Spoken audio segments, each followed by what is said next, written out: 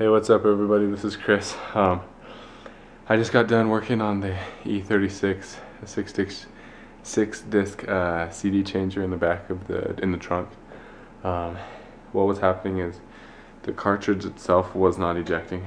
Um, the six disc cartridge, um, and so I got in there. I took uh, the unit off and wasn't too difficult. I think there's like six six screws or bolts. And uh, what was going on is that this arm right here was not going back and forth. You can even turn it right here a little bit and it'll go back and forth. Uh, I gotta have like a screwdriver to put it in one of the spokes. Not recommended, but um, I played with that a little bit now it's working fine. I think it was just like stuck on something. Um, and also this little, there's a little, I'm touching it right here. This long little wire was not going, uh, it was kind of out and it was not tucked in as it is now. So I took off this little faceplate right here. There's that screw, that one and that one. I took off those screws and then I kind of tucked it back inside. It had come out. See how right now it's on the right side of this faceplate. I think before it was on the left, and I think that had something to do with it. I'm not exactly sure. Anyways, it's coming out. Now it's working. Make sure to check your fuse in the back. Um, mine was good.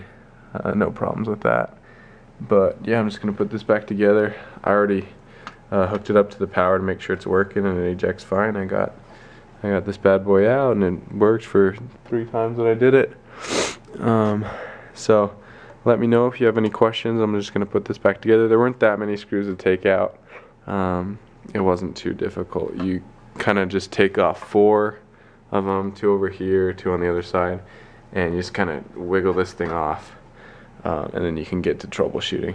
Anyways, if you have any questions, let me know. Thanks, bye. So here it is, all freshly re in there. Um, I uh, I realized I messed up on telling you some of the locations of some of the screws. They're actually on top for this unit, and but you'll figure it out. It's really easy. Um, but obviously you started by taking these three off and this one up here.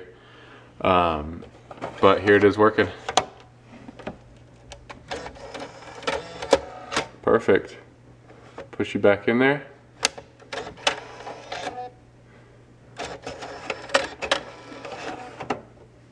And I believe it's just checking now what CDs are in there, but I'm not sure.